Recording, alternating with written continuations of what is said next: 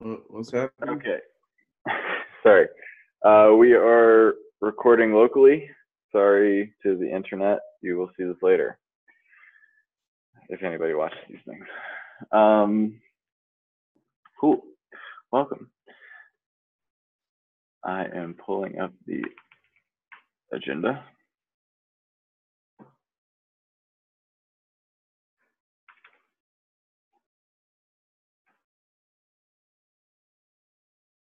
The agenda is in the chat.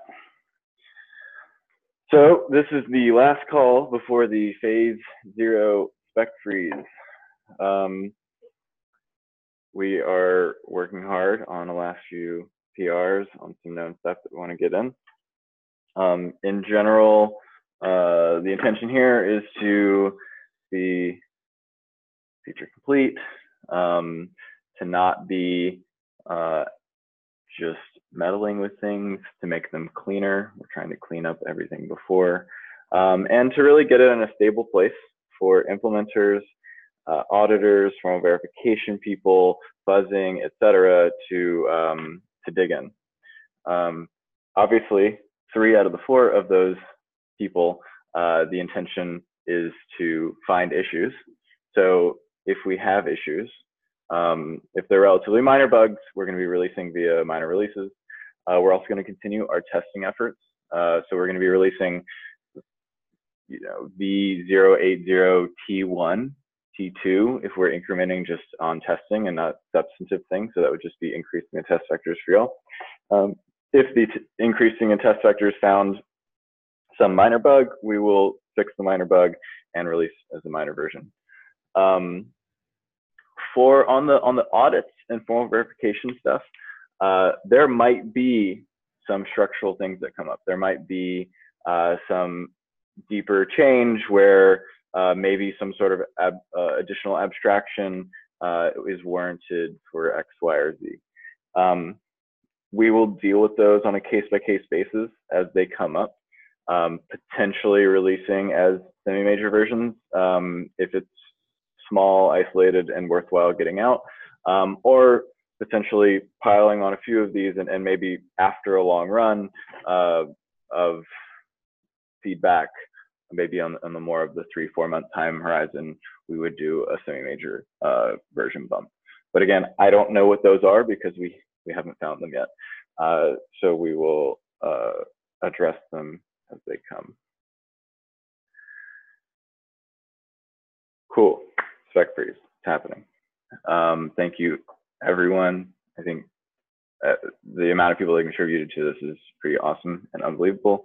If you find issues, keep uh, contributing and fixing them upstream. Okay, on to the first item of the agenda, uh, testing. Is Diederik here? You want to give us an update? Yes. Just a short update. So there's this PR open that's basically aims to complete the spec test coverage. There's these two uh, open issues remaining. One for uh, how we formalize the uh, finalization and how we uh, deal with the bit field. There's really just ways of representing data, and I hope to complete the test for these two edge cases uh, rather soon. And all the other tests are complete, so we get uh, much higher coverage of the spec.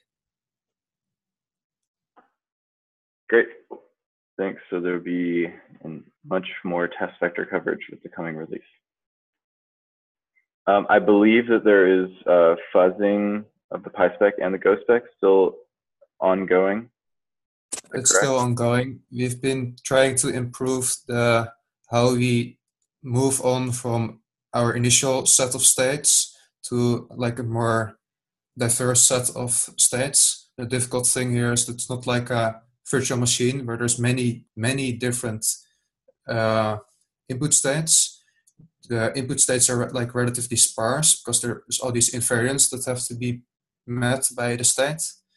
So what we do is we maybe create input states, but then first the block changes, and then when there's a valid post state, we continue from there. And so we expand and expand the, the output states. This, it, the difficult thing here is to limit it in an intelligent way to not overflow the this pre-state collection. We want meaningful uh, states or a diverse set of states, not like small changes.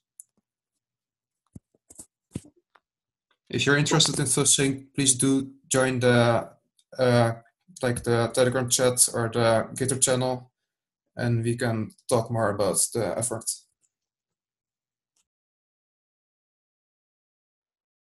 Great, thanks.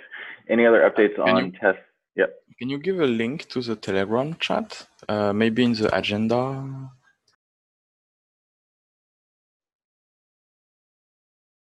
Yeah, we'll pop it in uh, this chat.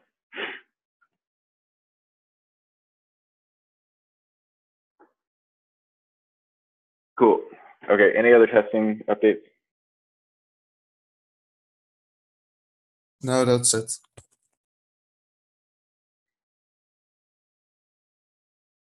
Great. Uh, let's move on to client updates. We will start with Trinity today. Hello. Um, so the um, yes, uh, we just joined um, the uh, yes Python teams uh, Snake Charmers retreat and had a great week uh, in Bottler to discuss and uh, play around the new um, Python libraries. We plan to migrate from asyncio to Trio, uh, which is another Python asynchronized library. And the recent most important um, progress is that Alex has a huge PR for the uh, version 0.7.1.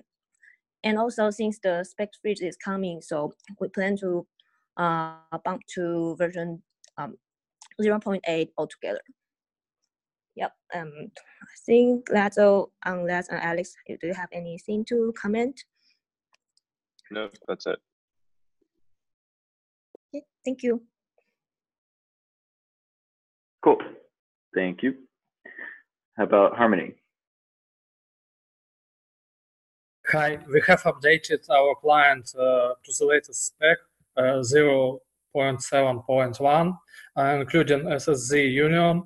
Uh, we are passing all tests uh, from GitHub, and our benchmark shows no significant performance changes six, since 0.6 version of spec. Also, we have added validator RPC uh, server part. Uh, we will add client part someday in the future. And we are working on libp2p minimal implementation. Uh, we are porting it to Java. And we have finished CKI part and moving forward. And next, uh, we are going to add persistence to our client. Uh, and and that's all I think. Yeah. Great. Thanks. How about Lodestar? Yeah, uh, we've been uh, building out a few last kind of stubbed pieces of the client. Um, things like getting a valid ETH data, ETH1 data uh, for creating a new block, uh, getting our deposit processing actually working with a real Merkle tree, um, and syncing, uh, getting a real sync between a network and uh, a chain going. Um, and we're still in the process of moving to 0.7.1 of the spec. Uh, and we're also working on getting a benchmarking uh, chassis set up. So, yeah. Cool, cool. Is there? Uh, I think last time y'all were discussing uh, experimenting with some some TypeScript conversions. Uh, is that still on the horizon? Yeah. Um, so assembly, uh, script? assembly script. Yeah. Right, um, right. So we're uh, so we have kind of a rough uh, implementation of an LMD Ghost. It's we haven't integrated it into the into the code yet. It's, it's still as a PR. Uh, and we are also thinking about um, doing uh, SSZ or rewriting SSZ with AssemblyScript. I think the kind of the blocker there is uh, a SHA-2 implementation. Um, and so those are still works in progress. I think I think they're going to take a little bit of time, um, but we're we're we're we're still working. We're like that's still uh, I guess a priority. Cool. Thank you. How about uh, Prysmatic? Hey guys, um, yeah, we're passing all the v0.7.1 spec tests except for one final one that we're working on today. Um, we uh, finished our Go SSZ, it's passing as well all the spec tests. And the next thing up is we're going to be fixing up every part of our runtime so that it matches all the core changes and ensure that we can optimize, benchmark, and improve the client itself. Um, we unfortunately spent a bunch of time working on uh, transforming the YAMLs because they use uh, hex strings to represent uh, binary data instead of uh, base 64. So just a lot of hiccups, um, basically on uh, for uh, based based on that. Um, but things are good now. Um, aside from that, we put together a central repo for Ethereum 2.0 API schemas. we'll be sharing with that. Um, I'm not going to chat about this on this call, so we don't want to take time away. But oh, Terrence already sent it over the over the chat um, yeah, maybe Preston can give a little bit of uh, like a really brief um, explanation of this repo uh, for everyone. Yeah, so the, the goal here is we just want to c- give feedback and sort of collect together these API schemas so that people wanting to build on Ethereum 2.0 have one place to go to.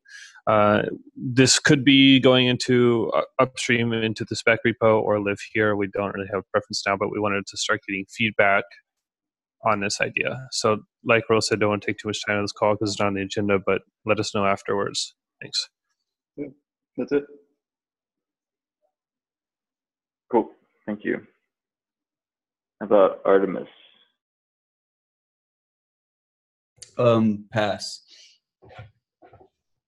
I'm just kidding. Um, let's see. um, okay, so I'm five ETH poorer now due to um, my uh, asshole teammates um, beating me in the bet and um, upgrading from V5.1 to V7.1 of the spec. So um, I think that's the like first five days. yeah, I think that's the first time we've actually been like um up to date the spec. Uh, so you know, interpret that how you will.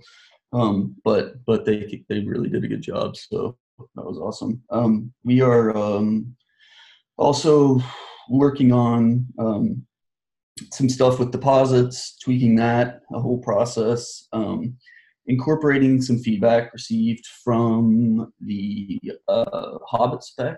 Um, there's some good uh, comments about, you know, like some cases it was there was it needed to be a little bit simpler, like for its purpose, and um, some more mods to match like um, other implementations, so that um, it's less work to use it, and then also matching, um, you know, the the actual real wire protocol. Um, and and really, I um, a lot of credit goes to uh, Dean and, and Renee actually for volunteering their time to like rewrite the spec, and it, it was um, it was a little bit it was spread out over some documents, and and they they both um, uh, kind of took all of the information, incorporated it, made a new, um, much better um, version of it. So so that was super cool, and I think that's pretty much it. Cool. Congrats on taking Johnny's ETH. How about Parity? Uh, so uh, so last week we also updated to uh, 7.1 test, uh, uh, which we are really happy to see all the the, the bugs are fixed and we are, we are able to remove all our uh, workarounds. So that's really great. And for this week we are uh, we did some uh, fix for our errors in uh, RocksDB, so it's more stable now. And we did a major uh, overhaul for our binary Merkle uh, library, which uh, uh, still hasn't been integrated, but we have a library. And the the substrate network stack is still in the works. So that's for us. Cool. Yeah, thanks for um, finding some of those bugs. Um, Lighthouse.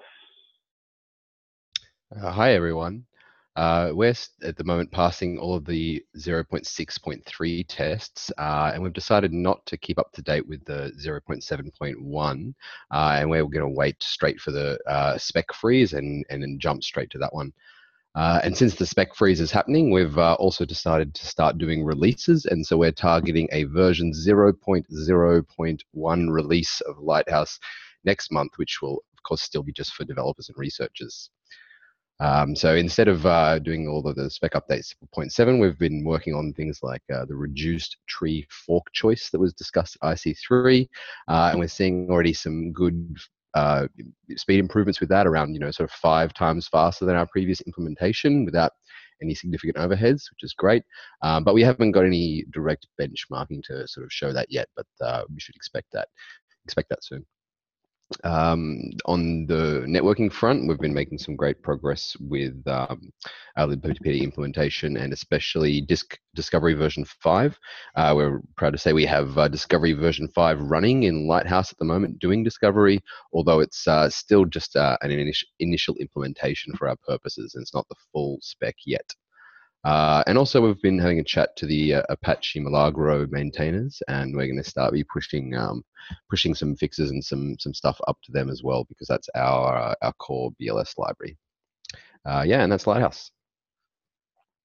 Great. On the Discovery v5, are you doing any of the um, advertisement kind of topic discovery yet, or just the base underneath that? I'll let Adrian answer that one. Uh, yeah, just base discovery at the moment. I uh, haven't done the advertising stuff yet. Cool, cool. Thanks. Um, how about Nimbus? Hi. So uh, regarding specs, we have most of 0.7.1 implemented, and we also updated our um, test suite with the official test vectors for uh, BLS, shuffling, and the um, integer part of SSZ. Uh, regarding specs, the focus uh, for the upcoming weeks will be uh, on performance, uh, implementing SOS style SSZ to enable the rest of the official tests, and um, we are currently uh, we will start refactoring the state transition because um, with uh, 0.7 uh, now we have names uh, for all the state transition function like uh, process slot, process blocks, um, and things like this. And uh, with that, we will also refactor the mocking part of the test suite, like mocking blocks um, and state. Uh, now, beyond the core spec, uh, we continue uh, working on our async library. Uh, because we we forked uh, NIM async library and uh, we add more and more function to support peer-to-peer networking. we also launched our libp2p daemon-based testnet last week. So now we have testnet 0 based on RLPX and testnet 1 based on libp2p. Uh, we will do a blog post, uh, probably not uh, this week, but um, a little, uh, maybe two weeks from now, uh, to explain how to install everything. We still are, are ironing out some details. Um, we have Ethereum 1 deposit contract watcher ready. Uh, we did encounter some issues with log filtering and some RPC methods uh, that uh, are not intuitive on Ethereum 1.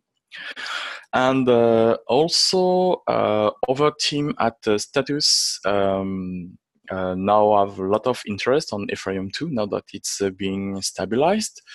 And Jacques Wagstaff, the main dev of Vyper uh, started to use uh, NIM uh, as a EWASM contract generator. So I'm posting the, the thread in, in the chat.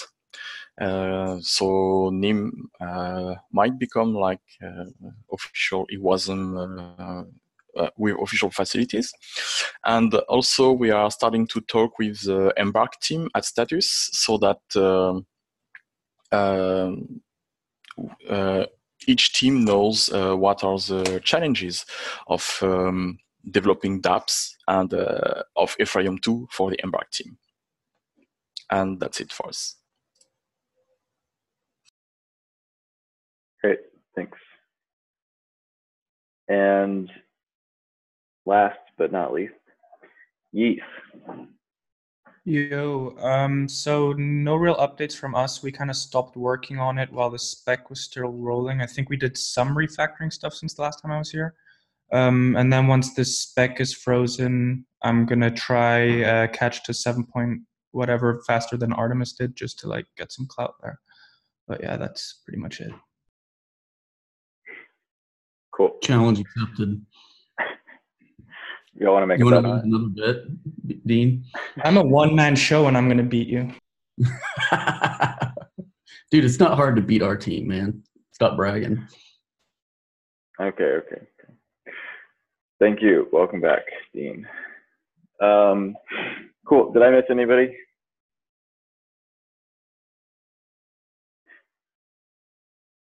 Perfect. Well, actually, um, Daejun Park is here.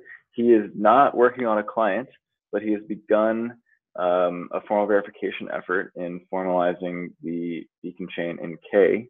Daejun, do you want to give us just a little update on that? Um, hi everyone. I'm I'm Daejun.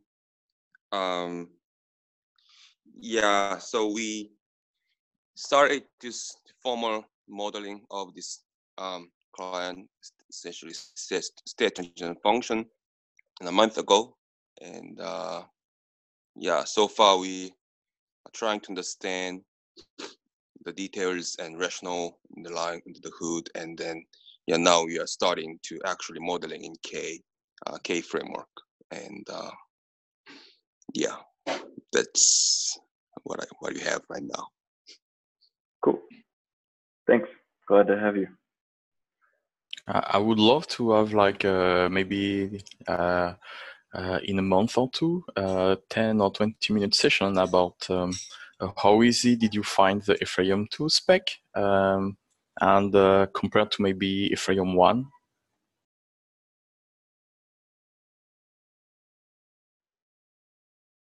Yeah. Oh, oh yeah. Are, are you talking to me? Yeah, yeah. Oh yeah, sure, sure of course. Because yes. uh, most of us have been working on that for a year now, and uh, uh, it was hard at first. I guess uh, now we are uh, uh, kind of insensitive to how hard it is. Right. But when made, we have new people. I made it. Daejun, did y'all end up using that accompanying document I sent you? Was that helpful? Yeah. Cool. Yeah, yeah it's it's cool, cool. yeah. Yeah, so I made an accompanying document explaining a lot of things, um, and I want to refine it and figure out a good place for it to live because without it, it's definitely uh, confusing. Okay, let's move on. Yeah, sure. So yeah, sure. Yeah, you will, will do that uh, once you're at the, at the, at the point. Cool, cool. Um, great. So uh, let's move on. We have, I think, a number of, I think we have some WASM people, we have the research team. Um, research updates. Who wants to start? Um, so let's see. On the uh, phase one side, I uh, wrote up a, a uh, small definitely incomplete checklist of uh, things that we might want to consider changing, or at least we'll have to decide. We'll, we'll have to decide on for phase one. I think it's the most uh, recent issue in the um, issues uh, list at the moment. Uh, so the big one, uh, the big ones uh, there that I can think of. So one of them is just shard block time so is it uh, going to be uh, what the same as the beacon block time, half a beacon block, quarter of a beacon block, something else? Um, the second is uh, just size of a beacon block. Uh, the third is uh, exactly how the crosslink uh, data, or another one is how crosslink data works. Um, I also want to consider removing the um, attestation list and basically only having one attestation object, or at least pushing the data from the one attestation object up into the header. And the reasoning basically being that I'm not really convinced that there's a particular need to, inc- to, to, to have space for more than one attestation because the the the set of things that we're using these uh, shard attestations for is much less than the um, the equivalent set for beacon, for beacon attestations. And uh, there's a couple of other smaller ones. So I guess uh, if anyone wants to uh, take a look at that list, then uh, and none of it's ur- uh, urgent. But once phase zero is frozen, I do expect that we would that we'd want to kind of move full steam ahead on uh, getting the phase one spec finalized. So it's definitely good to start uh, looking at. Um, so that's phase one. On the phase two side, uh, the main thing is, um, I mean, I've been talking to the phase two research people uh, people on, um, on and off and trying to figure out uh, like basically how fee markets would would, would work and uh, some of the issues around uh, batching transactions um, and uh, this is more on ETH, uh, more on ETH research. Uh, batching transactions, how to ma- make sure the scheme is censorship resistant, um, how to make sure we actually get the efficiency gains from batching and so forth. Um, the so I think what we're the kind of concrete possible changes to the uh, basic execution environments, or sorry, the basic phase two spec that seem likely uh, one of them is uh, changing it so that you can have multiple uh, beacon chain uh, or multiple top level transactions in one shard block. One of them is uh, allowing larger shard, uh, execution environment states. So instead of 32 bytes, I mean, you could still have 32 bytes, but you could pay more and potentially go all the way up to something like 32 kilobytes. So basically, the upper limit being like it's something that still needs to be small enough to fit into a beacon block for a fraud for a fraud proof. Um, but otherwise it can be larger and it being larger has a lot of uh, really nice benefits. Like uh, you can have uh, some some level of proof batching happen between blocks. You can have uh, some level of batching happen uh, even if there's or you can have uh, multiple transactions get with Merkle proofs get created independently, both get uh, get included without either either of them breaking, uh, as well as some other things. Uh, so that's nice. Um, by the way, Karl, are you on the uh, Floersch? Are you on the call? Um, well, if not, then uh, Karl has been uh, doing some uh, wonderful thinking around taking uh, plasma-like ideas and applying them to an ETH2 context where data just gets published on chain.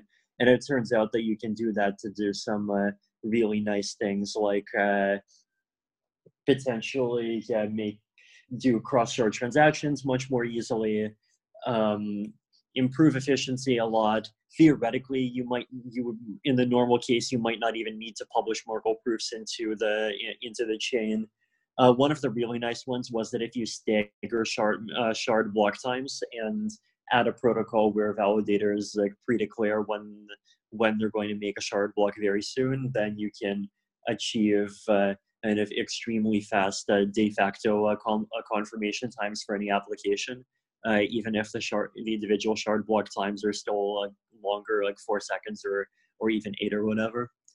so, and that's and that's not ETH research. That's something I'm also potentially really excited about because it lets us have create basically user experience equivalents to all these more centralized platforms without us actually being more centralized. So yay. Hmm. Yay. Mm-hmm. Cool. Thank you, Vitalik. Uh, Justin?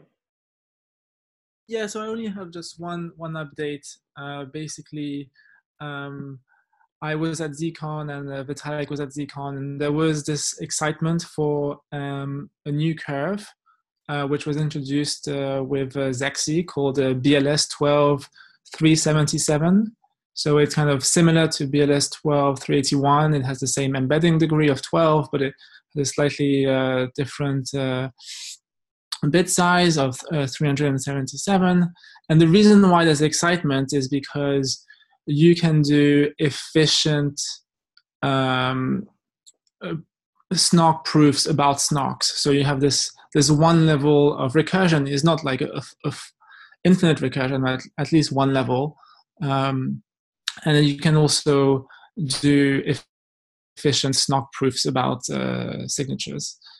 Um, so one of the things we were considering is whether or not we should uh, move to this uh, new curve, which has this this this interesting property. Um, I guess the the bad news is that um, BLS 12377 is is a bit more than just changing parameters and and and and constants. Um, so there is a little bit of work to um, to take the existing implementations and port them over. Um, the other downside is that there's a it, it, it has a cost um, in terms of hash to G2, so that becomes a bit more expensive. Um, so I think at this point in time, pragmatically speaking, uh, we're looking to to stick with BLS 12381, uh, you know, which has more maturity, more infrastructure, more testing, and by sticking with BLS 12381, we also um, uh, you know can can meet the the Devcon uh, suggestion of launching the the deposit contract um, during a, a, public ceremony. Um, so I guess uh, it will be interesting to see how this how this space kind of evolves in the future.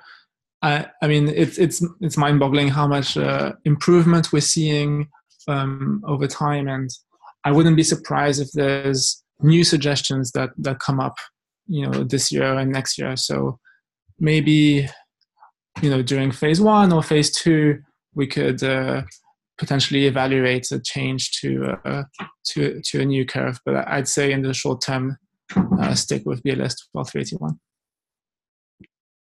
Uh, so does that mean that um, uh, because there is currently a BLS standardization effort, but uh, it means that the community might be fragmented between uh, standardization on uh, 381 and 377, right? Yeah. So one of the you know the the things that needs to be done is kind of make sure the standard, standardization effort that everyone is on the same page. Um, it seems that where the of you know of the other blockchain projects that are looking to uh, launch with uh, such a curve, we're the first one who want to deploy. Um, so there's about 10, maybe 10 different blockchain projects, and we're the first one um, who would deploy the deposit contract. Um, you know, the, the, the Ethereum does have a little bit of weight in the space and momentum. So um, it, it's possible, you know, that the, the, mere fact that, that we do go ahead with BLS 12321 might be enough of an incentive for others to come in. One thing that was, uh, you know, voiced during the the standardization meetings is that other people also want, you know, no fragmentation and and, and cohesiveness. So we'll see what the next meeting uh, come up comes comes up with, um, which is in, in a bit less than two weeks. Um, but yeah, for sure, um, we don't want fragmentation. Although what that does sound like is that there will be some level of fragmentation, especially going off further into the future, whether anyone wants it or not. Like basically, because if we expect to keep on finding better and better curves that have uh, more and more capa- uh, capabilities in them. So and you start with one that has uh, one level of uh, full recursion with pairings, and you might find one that has two levels of recursion. Eventually, someone might might find a cycle, then someone might find a more efficient curve with a cycle. So it's uh, uh, yes, I, there's there's definitely a high probability that we should be preparing for an elliptic curve world that continues being a messy one for the next decade, or pretty much all the way up until quantum computers nuke the whole space. Hmm. So one of the things we're trying to do with the standardization effort is to have the notion of a cipher suite. Um, so a little bit of metadata which specifies, you know, which curve you're using, etc., which hash function. And so um, I guess this is maybe a good test of the robustness of the cipher suite. You know, can how well does it work with the, the existing curves that we know of? Um, the IETF standardization effort is not just for the blockchain project, so they will be interested in uh, standardizing all the various uh, meaningful options. Um, so I guess that's good news for us because it, it, it means that we have some level of preparedness uh, in this possible messy world of lots of different curves.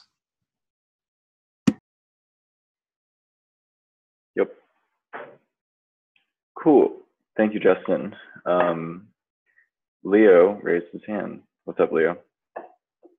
Uh, yes, just a very quick uh, uh, note. Um, so um, from from Barcelona, I have been uh, contacted from the Starkware uh, team, uh, and they showed some interest on working with the with the simulator.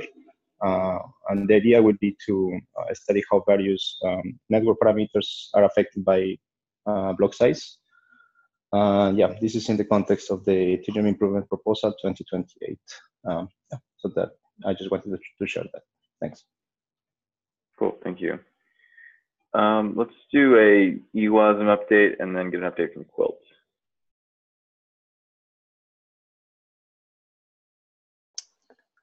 Uh, hey, um, the the last month has been really busy. Um, probably many of you have seen that we released a tool called Scout, uh, which is a black boxed prototyping environment for uh, for phase two execution.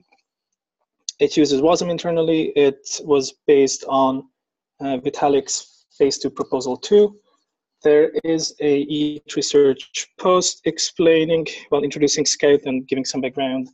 Um, just look for Scout on ETH Research. Um, and the code itself can be found on ewasm slash scout. Um, now this black boxes um, most of the phase zero and phase one stuff except what is required. And basically it is a tool uh, which operates on a YAML test file. Um, and it can execute execution environments um, using that YAML test file and the shard blocks can be defined as well as the WASM code for the execution environment. And the main goal with, uh, with this design is to be able to quickly prototype different uh, features in execution environments and be able to benchmark uh, those features. Um, now, initially, we have implemented a couple of different uh, execution environments with different basic functionality. So we do have a Snarks verification, which is integrated with ZoKrates. Uh, we do have BLS signature verification, um, some code for a token contract, some examples. And all of these are really nice uh, to prove that all these features can be implemented and compiled to WASM. Um, but actually right now we are focusing on the more important questions. And there are basically two important questions. Uh, is the speed uh, of all this WASM code and the throughput uh, of what the uh, execution environments have to do. Um, and basically the, the, the key part execution environments have to work on is they have to get a witness for a state and they have to verify that witness um, and then they need to apply the changes on it. Um, so first goal right now is to prototype uh, this witness verification, so one uh, one way to do that is using SSZ partials. Uh, we haven't have that implemented yet, but that is one of the next steps. And the main outcome we hope to get out of uh, this um, witness benchmarking is to prove that a stateless model is the right direction. And that is the first thing we have to prove. Um, now, since, as I mentioned, this black boxes uh, pretty much everything from phase zero and phase one, uh, because we don't need it for benchmarking. Um, but we do need to to have that at some way uh, supported to to have a proper uh, infrastructure to test execution environments. Um, so the the other goal outside of the the benchmarking we're doing is it would be nice to get uh, this functionality implemented in a, proper ETH2 client. Um, and such a client would also need to implement uh, a lot of the phase one spec, um, as well as whatever is needed based on this phase two proposal. Um, the eWASM team is is um, uh, working together with with the uh, the Quilt team. So I think we're gonna talk a bit more about this part. Um, but it would be nice uh, to have a execution only testnet at some point uh, to be able to to have proper hands-on experience with execution environments.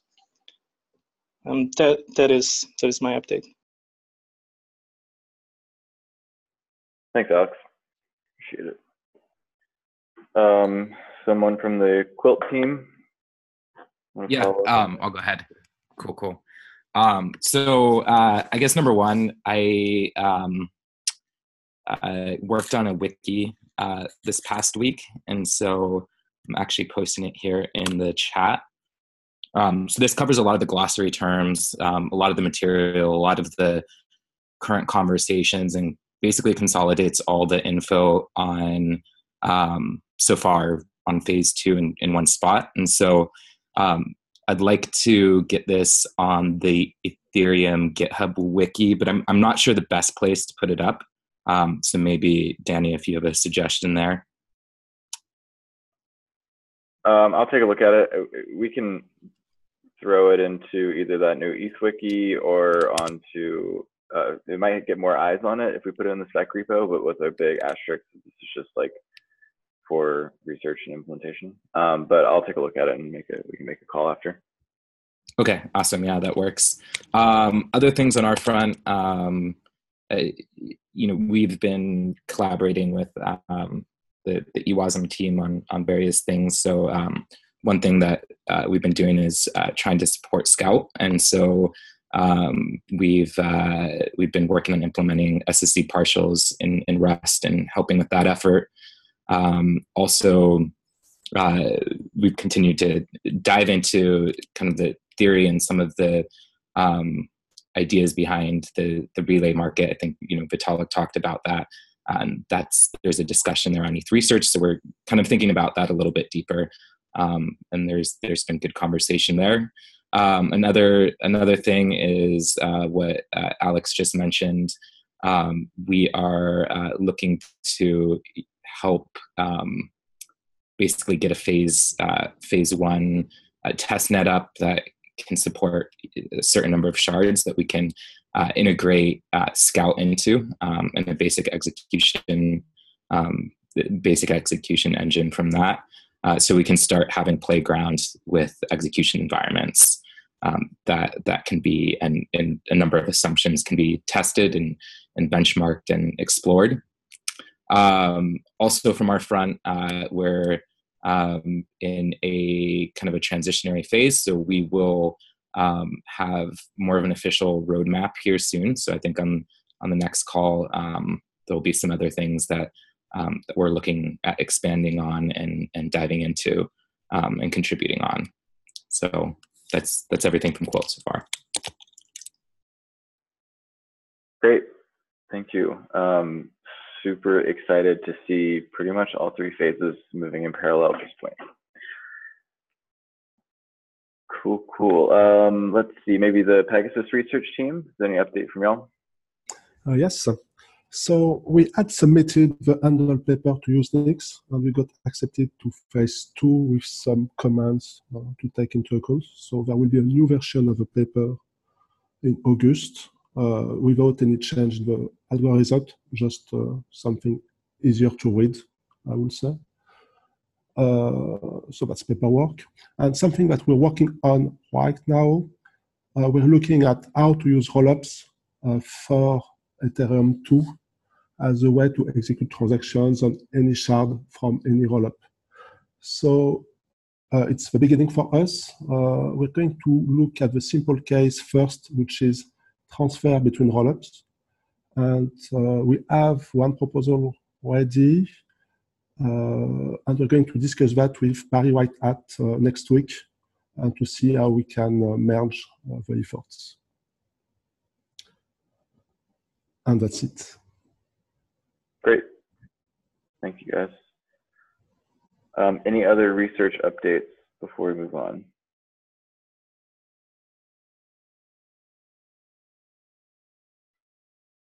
Cool. Uh, networking. Uh, we have a couple guys from uh, Protocol Labs here today. Any updates from your end? Uh, yeah, hi. Um, pardon me if there's noise in the background. I'm at a conference. Uh, but yeah, Raul and I are here. Um, we so here's our update. Um, we, we, we basically we uh, don't have any update on grants yet. We're very close to make, making a couple grants, uh, some in, in, conjunction with other uh, funding sources, some um, on our own. Uh, so we'll probably have an announcement about that next week, but all of them are aimed at building uh, libp2p implementations in the languages that all of the client folks on this call need. Um, so they should be, this should be encouraging announcements, and I think they'll they'll bear fruit by September uh, when we need them. Um, the second thing, and then we can people can ask questions or, or whatever where they want to go. Um, last time there was a question about TLS, and I, I, I, think I didn't answer the question well because I didn't fully understand it, but I believe the question was sort of along the lines of uh, what security is being provided uh, by TLS versus what does the application layer uh, need to provide. And so assuming that's a correct understanding of the question, uh, we talked about it a little, and I'm going to let Raul uh, answer it, but we have an answer for that. And if that's not the, if that wasn't the question uh, you were trying to ask, then uh, after this, just just fire away with whatever, uh, whatever the real question was. So, Raul. Yeah, I wanted to confirm. Was that was that a question to begin with? Like we want to differentiate we want to differentiate what why transport level encryption and authentication and security in general is necessary versus application level uh, crypto um, i think there maybe was some misunderstanding on the call but i i think everyone could uh, would love just a quick on on this. yeah of course. So, uh, transport level security is necessary to be able to, first of all, not be subject to man in the middle attacks uh, that could uh, potentially alter the payload that's being transmitted. Uh, to be able to authenticate the peer that you that you uh, that you are interfacing with. Um, if you, for example, have a key, a public key for that peer, then by authenticating them when initiating the connection and handshaking, you're you're able to certify that you're really speaking to them uh, of course, for you know all kinds of uh, uh, reasons to avoid observability and censorship and so on. Uh, encryption is necessary as well at the transport layer. And of course, if the application itself needs to use crypto primitives to, for example, uh, sign specific pieces of, of data as uh, by specific roles or nodes in the network, like validators and so on, then you could imagine, very easily imagine, a message, and I think this is the case, uh, where you have a piece of data, a transaction, a set of uh, a block or uh, a collation or whatever that is signed by a particular validator, and uh, that message is gossiped through the network. So as is being gossiped through the network, the transport security would be uh, making that message, the, the actual transmission of that message secure between peers, but those peers would need to verify that the origin of that initial message is actually the validator that they expect to, to, to, to be. So that would be an application level signature, for example. So, I mean, these are, there are both, one doesn't exclude the necessity of the other, essentially. And the reason why we are there are two reasons why we want to adopt TLS 1.3. One of them is that is that it's a prerequisite for QUIC, um, and that is super important. Uh, on the other hand, TLS adopting TLS 1.3 would uh, help a lot as well with censorship resistance. Uh, if we, you can very easily imagine a transport that is uh, when HTTP uh, 1.3, sorry, HTTP 3 is deployed in real life, uh, you could easily imagine a transport that mimics uh, being HTTP3 by using QUIC uh, with TLS 1.3 uh, over port 443, for example. So therefore, you know, it would be very difficult for for sensors to actually uh, block traffic uh, unless you know at least do conduct any any kind of deep packet inspection. of course, they can always block IP addresses. So that, that's another reason why we want to adopt TLS 1.3. The libp2p stack is designed for pluggability at the security level, at the secure channel level, which means that another algorithm, another another approach, another secure channel that we're looking into very seriously is, is noise. Uh, we have some experiments in this department. Um, there are teams that we're actually probably going to be funding a team as well to to implement uh, some primitives that are lacking in the JavaScript environment to be able to conduct noise uh, in a very uh, in, in, in in not userland essentially. So that would be. And like if, if you want me i can i can go down into like why we're interested in noise and particularly what handshakes but basically we're probably looking at a system where we can conduct the IX or the IK handshake based on what data we have available about the, the parent the other end. Does noise provide some clear benefits over SecIO?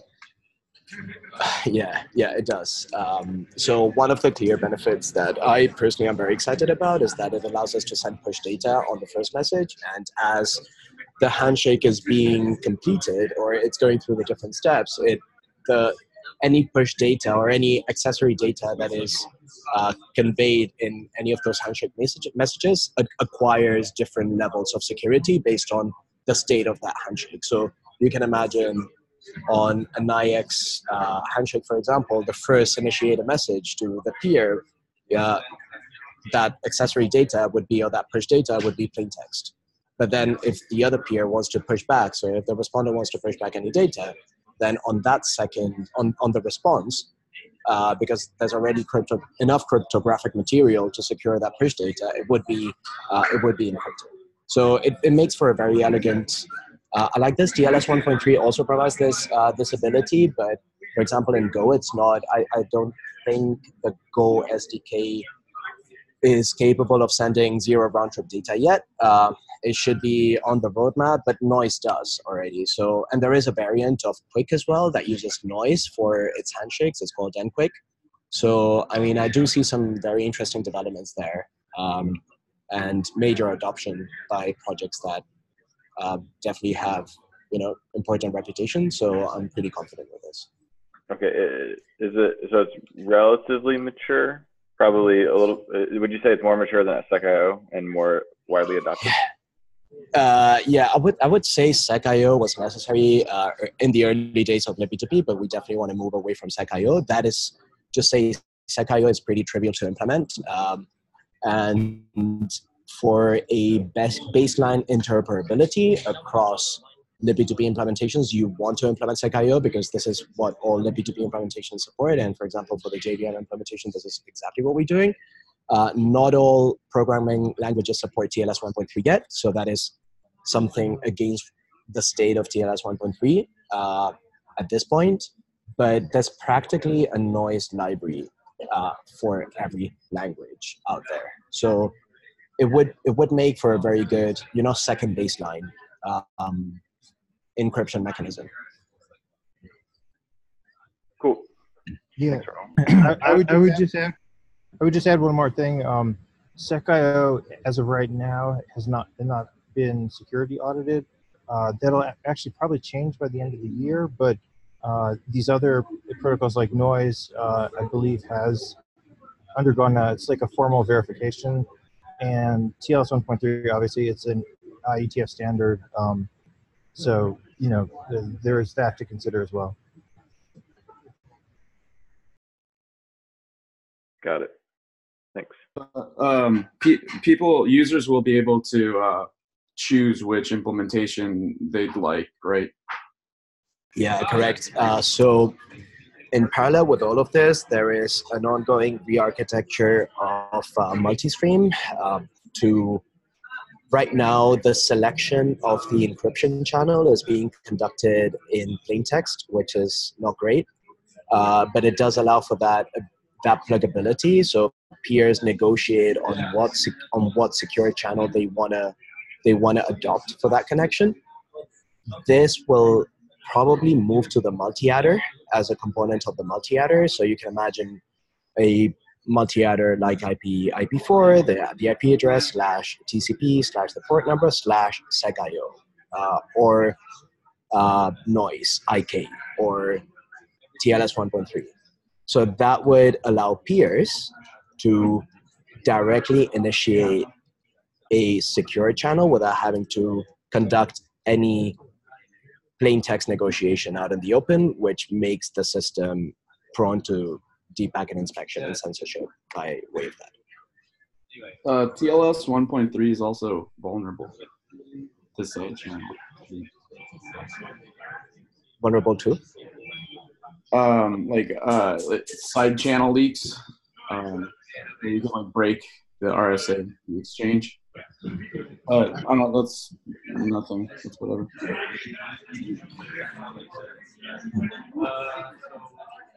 Yeah, uh, from the point of view of the P2P, we would be uh, basically implementing and adopting probably a SDK um, library in each language. You probably want to do that. Like you want to adopt an SDK. Like you want to make sure that the language has a support, native support for for 1.3. Um, so yeah, we are like libp2p as a user of TLS 1.3 is you know vulnerable to anything that TLS 1.3 itself is vulnerable to for sure.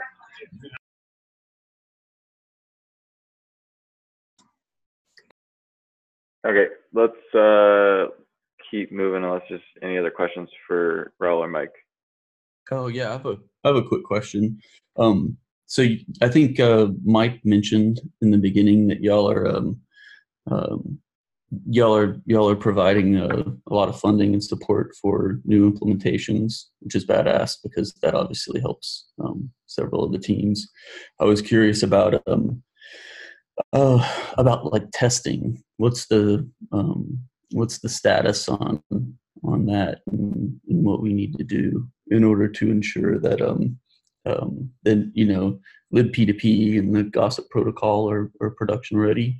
I know like um, y'all may like our timeline for eth2 might be slightly different um, than uh, libp2p and so i'm curious uh, what y'all's thoughts are on that if if, there's going to be a grant or or whatnot yeah um, so we think of testing in two different there, there's two aspects of it. One is interoperability testing between the different languages, and that's an area where we are very interested in making a grant.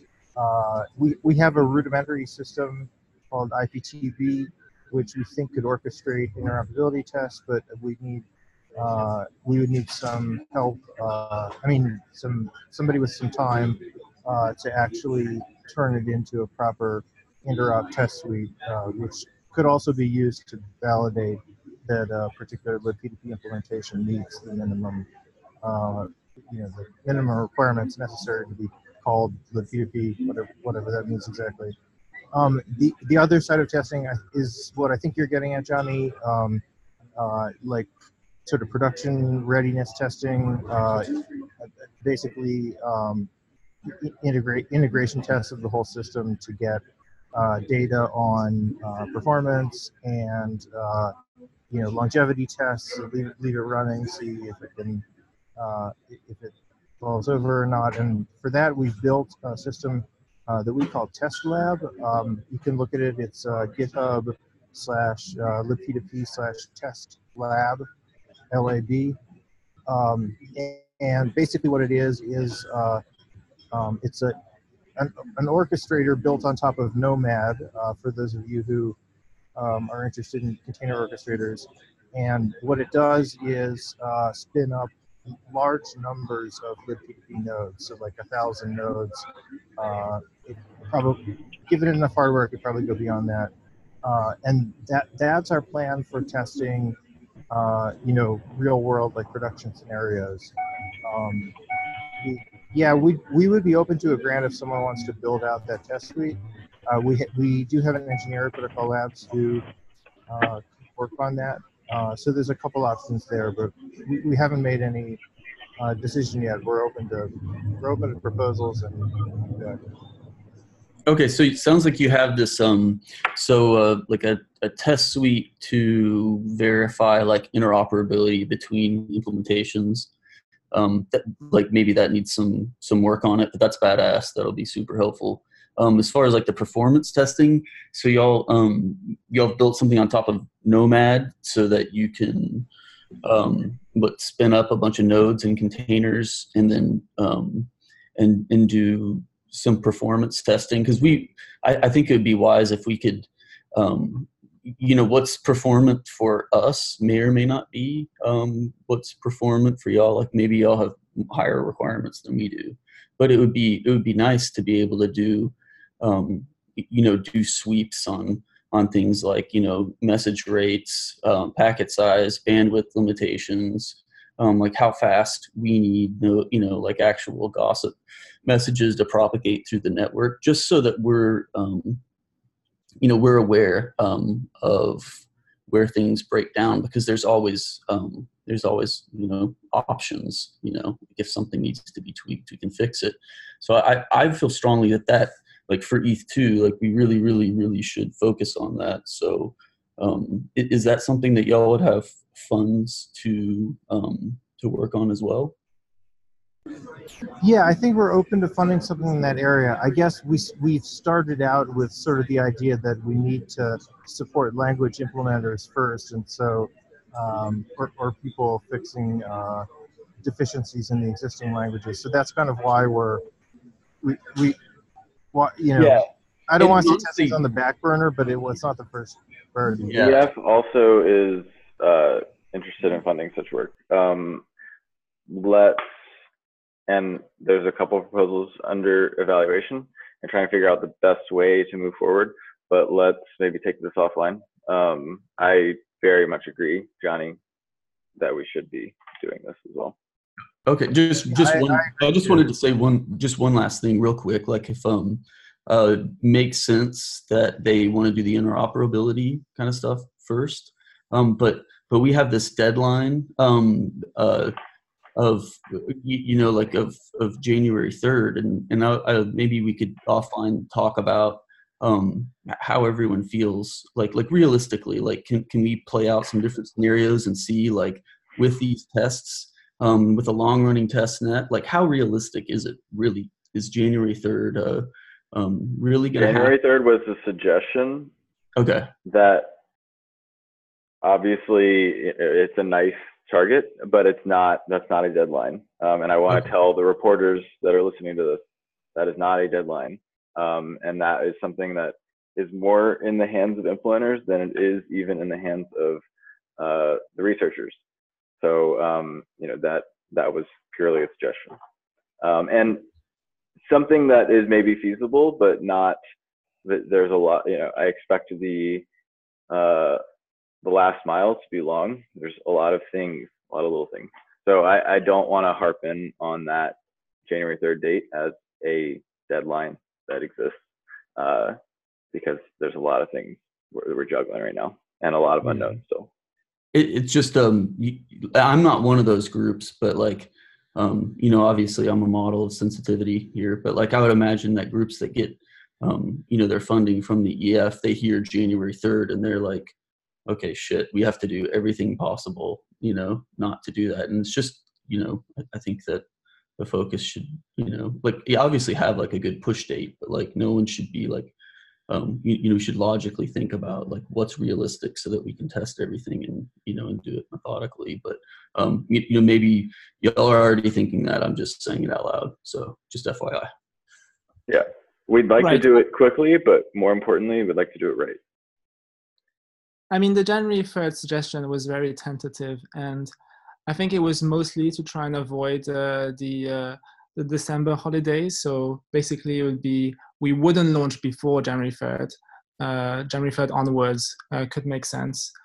What I have done um, is um, survey some of the uh, implementers to ask them uh, if they think they would be production ready in 2019 for launch on January 3rd and uh, two of the teams uh, have responded positively with optimism um, that it is possible. So at the end of the day, we only need, uh, you know, a, well, we need a minimum of, of two clients uh, to be ready, and uh, and we'll see how how the the landscape evolves kind of organically.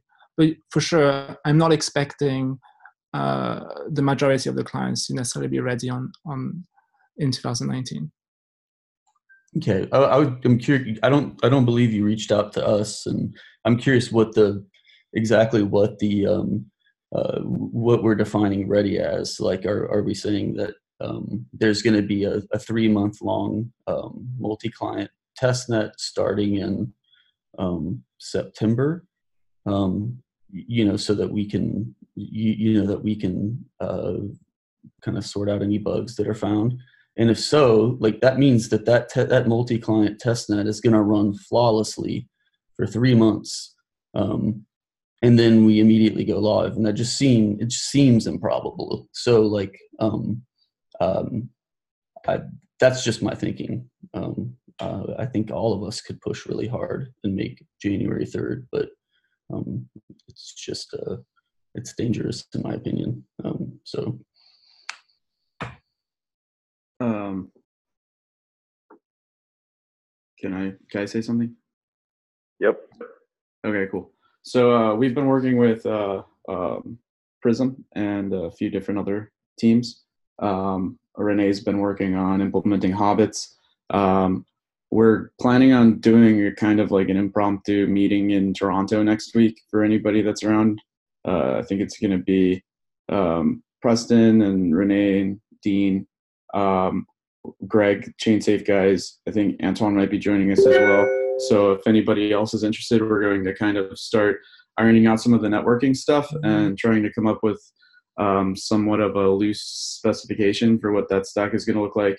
And um, next, we're going to try to move on to do some research in terms of like data sync and um, um, like peer discovery, etc. So, anyone wants to join us, please, please do. We'll be in Toronto next week. Also, um, we have a few, like Johnny mentioned, we have a few updates to the Hobbit spec that largely came out of the conversation with um, Prysmatic. Um, so I'm going to post a link right now, and any feedback is welcome.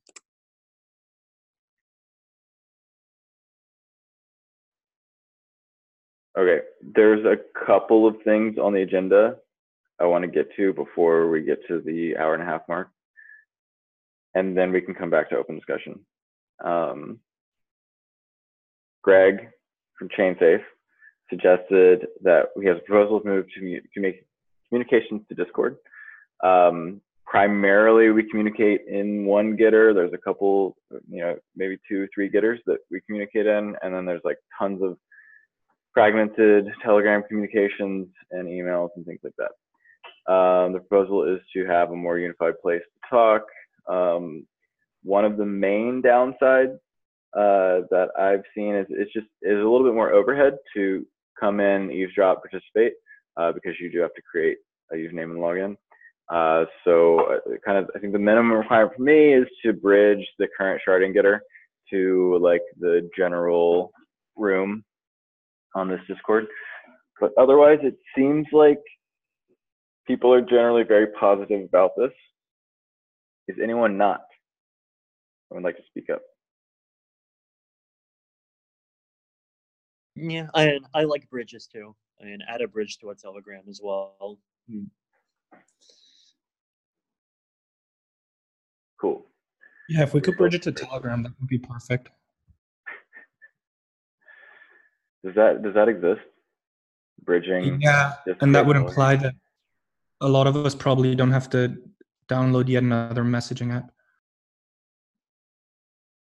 Let's just make a new messaging app that default bridges them all. It's called Matrix. We are now moving to Riot. I'm I'm joking. I don't have Riot. I don't intend to download it. I'm kind of I'm at the max. But anyway, um, I it, let's do it. I think this is good. I think it makes sense. Um, I know Proto said he would help us do that. So um, Proto, let's talk after this call. Um, cool. And then Proto has a proposal for standardizing, I think, graffiti use case and testing. Proto, do you want to give a quick on that? Sure.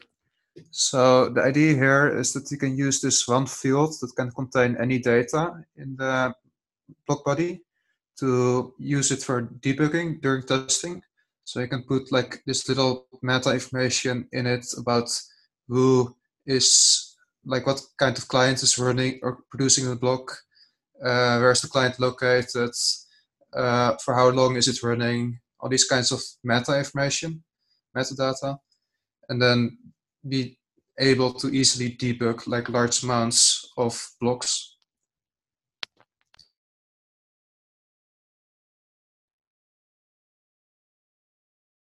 And sounds great. what we Yeah, essentially need good. from others is to all agree on the same format. Hello? Yeah. Um, Okay, so I- what I want to try to achieve is like collect suggestions from all the other clients on what data they can provide and will be what would be useful for interop testing, and then uh, standardize it or like somewhat standardize it. It doesn't persist after the testnets, just for testing. Um, Maybe we should open uh, an issue on uh, the spec test repo, and we can everyone can add uh, ideas because uh, 32 bytes is uh, it's large and small at the same time. For example, IP addresses you need four bytes at minimum, and um, well, we can run out easily.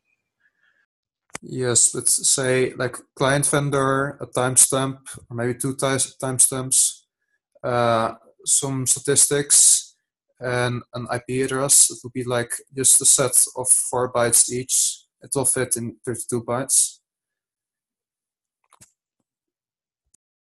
Generally, I'd say that the client version is more important than Also, the client anything version. else.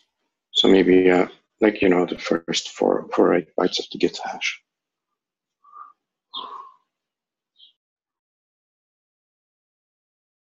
Cool. Okay, let's uh, take this to an issue. Yep. So Definitely. maybe like the last uh, few.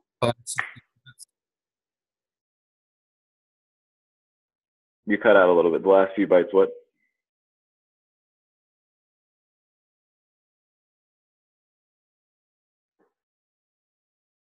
Oh, my internet is unstable. Can y'all hear me? Yes. Okay, cool. Um, okay, let's just take this to an issue. Thank you, Proto. Um, okay, before we have just open discussion, just were, are there any pressing questions about the specification, things that have come up, um, any issues you've run into?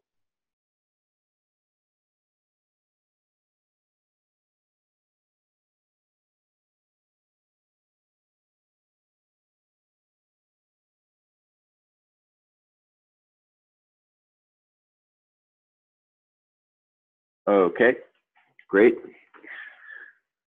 Um, and now, open discussion, closing remarks. Clearly, uh, there is a desire to um, figure out the minimum requirements to be production ready. Some of this is a little fuzzy because there's a lot of unknown unknowns that we're going to run into in the next uh, four or five months.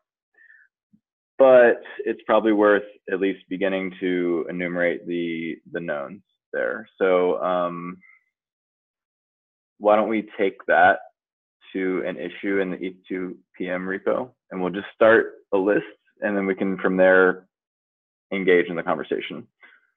Um, does that seem reasonable?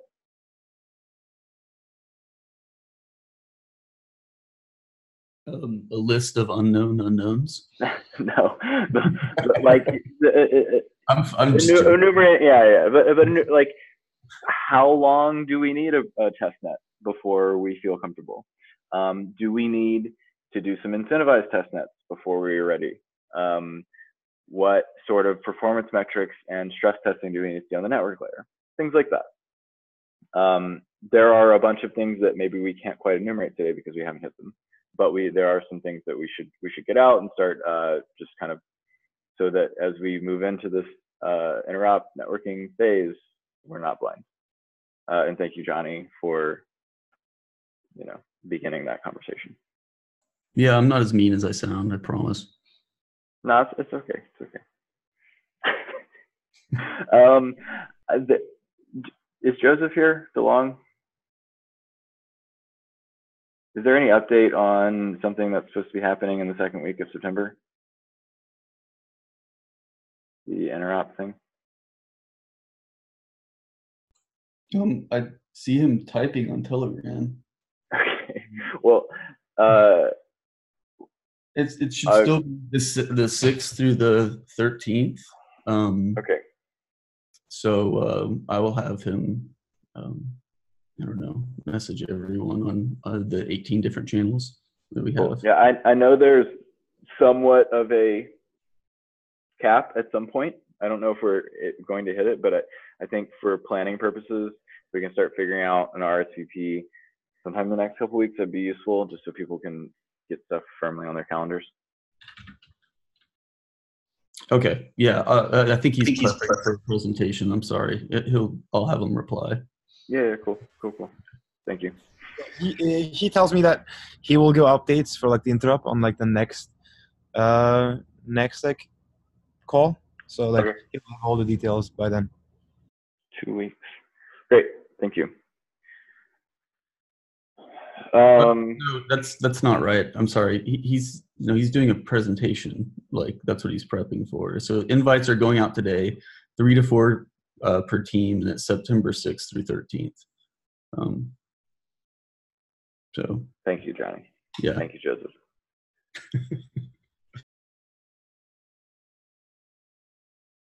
okay. Is there anything else? We have a few more minutes before we close.